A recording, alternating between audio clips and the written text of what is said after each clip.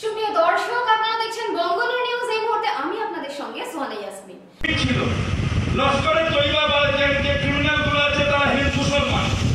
তো ধর্মের সাথে ক্রিমিনালের কোনো সম্পর্ক নেই। ধর- ধর্ম ধর্ম। আমরা সবাই ধর্ম মানি, আর যারা ক্রিমিনাল সব কোনো মানুষ, কোনো সেক্টর অন্যায় করে না। দু চারটে মানুষ অন্যায় করে।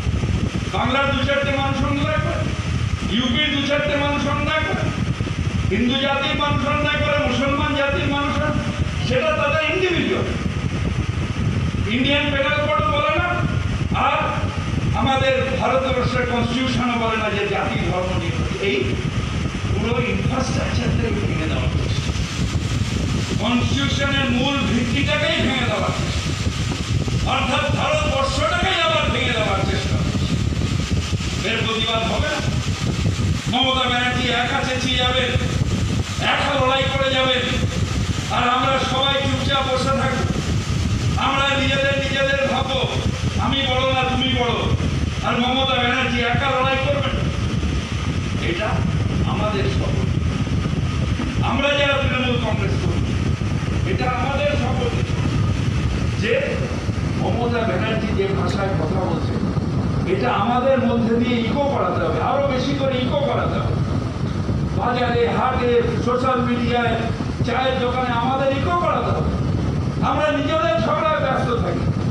যে আমরা নিজেরা এই না ওই ওইটা না ওইটা, আমরা নিজেদের ঝগড়ায় ব্যস্ত কিন্তু যখন মমতা ব্যানার্জি থাকবেন না, আমাদের অস্তিত্ব আজকে মমতা ব্যানার্জি আছে আমাদের অস্তিত্ব আছে। আমি বারবার কেন বলি, একই একটা ডায়লগ বারবার দিই কেন ছবিটাকে সরিয়ে নিই বিরাট হাকিম, মাইক, খালি চেয়ার থাকবে ছবিটা মাথায় আছে, যেখানে যাচ্ছি লোক ভর্তি হয়ে দাঁড়িয়ে আমার এইটা উপলব্ধি। এইটা উপলব্ধির ব্যাপার। যে মমতা ব্যানার্জি আছে বলেই আমরা আছি। সুতরাং কোনোভাবে যাতে তারা সব থেকে বড় নিকট আত্মীয় যেটা বলে ভবানীপুরকে